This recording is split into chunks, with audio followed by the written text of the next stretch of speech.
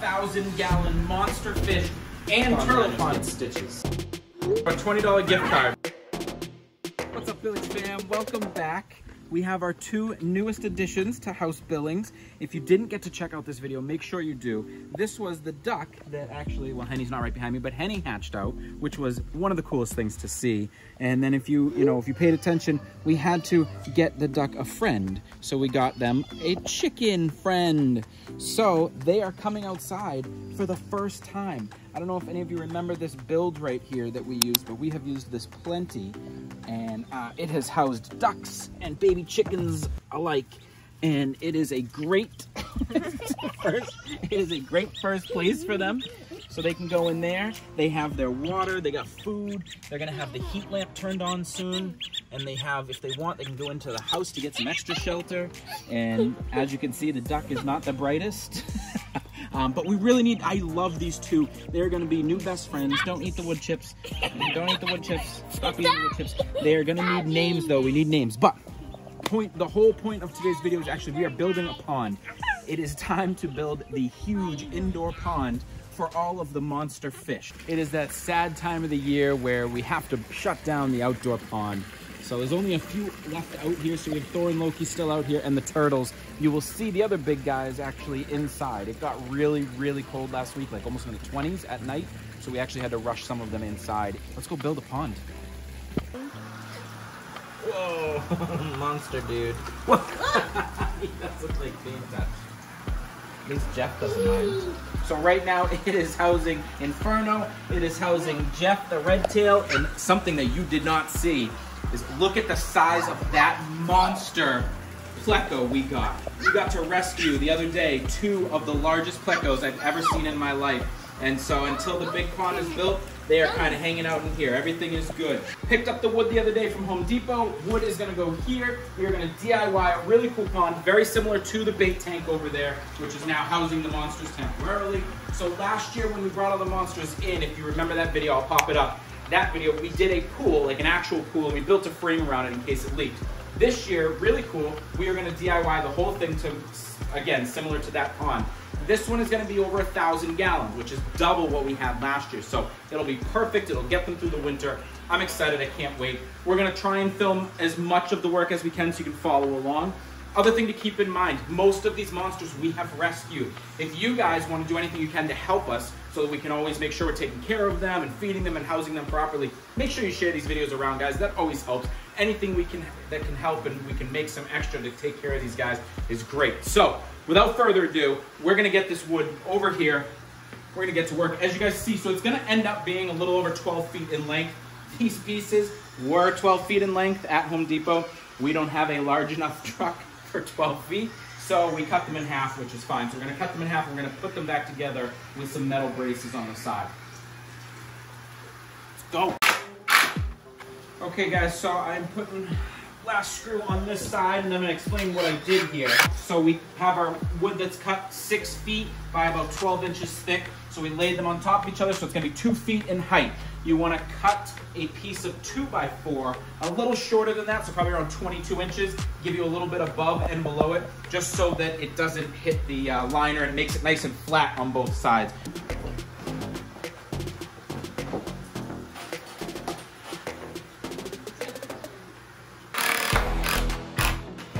So, if we were to stand this up, this is what the side, carefully, that's kind of what the side is gonna look like.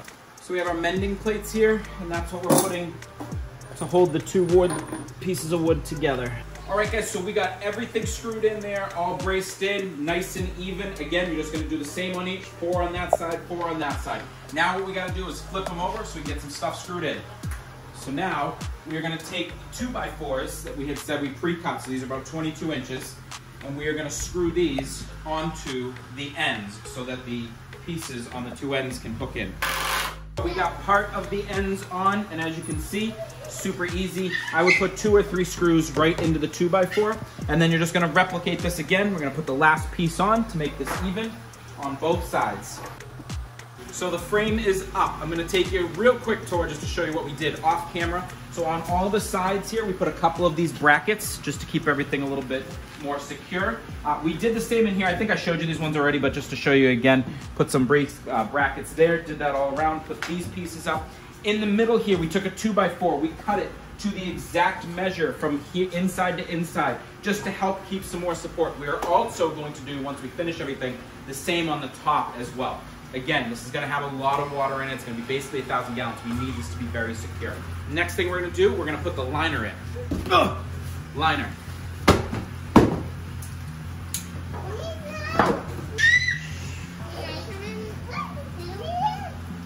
Sure, it'll be a party inside the pond.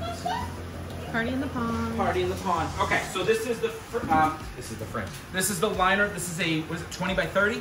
Was it 20 by 13. what? 13, I think. Is does it say on here? It does. This is a 13 by 20, and I will put the link in the description down below. You guys ready? This is gonna be your new bath. The monster fish. The monster fish and the turtle. We're gonna take this, we're gonna spread the liner out, and we're gonna start stapling it on. I'm gonna try and show you a little bit of that. Real quick one for you guys. I'm gonna throw a $20, this isn't anything we plan to do. I'm gonna throw a $20 gift card for anybody that can correctly guess what you think I'm drinking in here. And I will give you a hint. It is October, it is fall. So keep that in mind. You have to be dead on. Comment down below if you get it right. I'll shout you out next video and I'll give you a $20 gift card. Once it is in here, just kind of walking around, I want to get it, not, not that, you don't want to do that. But I want to get it right to the edges of everything and leave a little bit of overhang. And uh, we'll kind of cover, if you guys saw the video that we did, the little bait pod behind us, um, same thing, kind of left a little bit out and then put a nice little border around it afterwards. Liner is in, so I just took about 20 minutes. I went around and stapled everywhere. Um, Tay was off with the babies, so I just made sure. My hands are red. It took a long time to do that.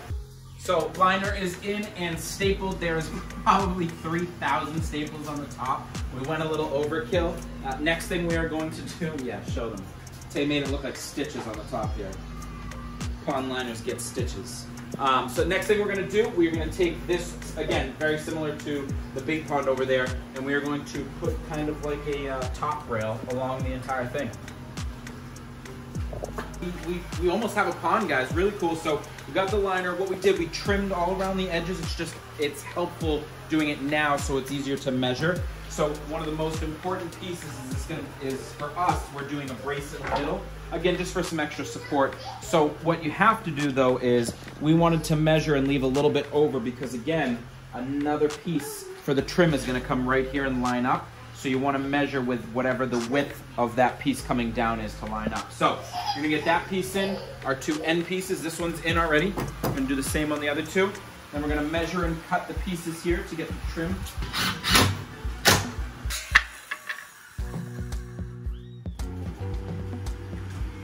So there is the pond, guys. This is our thousand gallon monster fish and turtle pond. Don't forget. I just want to touch on lighting. I know lighting isn't great right now. I actually just plugged in a grow light here because we want to put some plants on this side. Um, lighting will be next. Lighting will be much better next video. Also, don't forget, put your notifications on. Make sure you subscribe, but put your notifications on. This was only part one. So part two is gonna be filling this up with water, getting the filtration set, and stocking it with our monsters. So we gotta get them in here, so make sure you stay tuned. But the lighting will be better because we're gonna have the turtles basking section all uh, over here. Just wanna fill you in the last things that you didn't see, so make sure, easiest way to do this is we measured the ends and the middle and secured those first, and then we just measured the furring strips for the, uh, in between those, and just secured those, and just screw them all around. And guys, I mean, this looks pretty sick. I'm, I'm pumped. Let me know what you guys think down below. I, you know, I always love having your input there. But I am super excited and part two is gonna be, part two is gonna be crazy. I think Grayson's gonna go swimming in here. Maybe even after we put the fish in. So make sure you stay tuned for that. Let's get to this episode's good vibes shout out. It goes out to Julia Man. Julia said, You guys have helped my fiance and I learn how to take care of our turtles and convince us to get two turtles. Julia, thank you. That's really cool. Make sure you stay in touch and let us know what kind of turtles you got and you know names and stuff. We would love to see pictures. Maybe we can even feature them in a 10 seconds of fame. I hope you guys are excited because I am super pumped. This is our favorite time of year when we get no.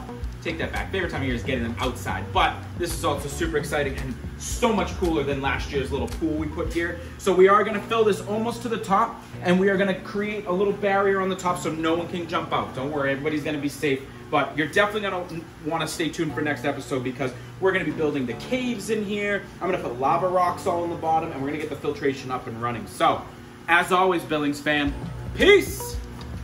Subscribe below, look at this guy. He wants to get They always come over to us. we are walking to PetSmart. Very, very small fish. Excellent, guys. Fred is in great shape. Woo! Over, say hi. Is doing so much better underneath.